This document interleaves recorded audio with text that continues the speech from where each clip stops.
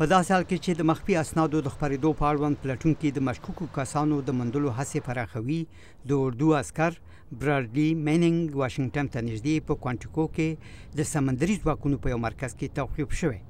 د نیویارک ټایمز د رپورټ له مخې یو شمېر هغه کسان چې ترې پوښتنې شوي وایي پلټونکي غواړي پوه شي که چیرې د باسټن په سیمه کې د برالډي میننګ د همصنفانو په ګډون د هغه ملګرو د نوموړي سره مرسته کړې وي او یا دا چې د ویکي لیک سره اړیکه ولري چې شپږ اویا زره محرم اسناد یې خپاره کړي دي د کالیفورنیا یو کمپیوټر پو ادریان لامو چې برالډي میننګ یې مقاماتو ته ورپه ګوته کړ په دې باور دی چې حتما به نور خلک هم په دې کار کې شریک وي هغه به هیڅکله هم په ځان ته ځان هڅه نه وای کړی چې دا ډول عمل وکړي.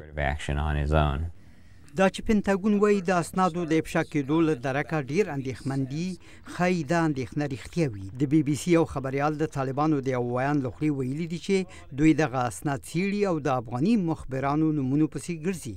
د سي آی اې پخوانی رییس جان مک لوګلن وایي. د دې نومونو په خپرولو سره اوس په افغانستان کې یو شمېر مشخص وګړي تر برید لاندې دي. یوازې یوې کوچنۍ برخې اسنادو ته په کتلو سره د نهه تنو افغانانو نومونه څرګندېږي چې د ناتو ځواکونو ته کار کوي. آیا هغوی به هم له خطر سره مخامخ وي؟ د بروکینګز انسټیټیوټ څېړونکی مایکل اوهانون وایي.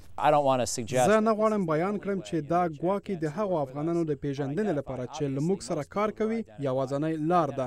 څرګنده ده چې زیات خلک په لیک، الفاظو او په لیدلو مشخص شوي.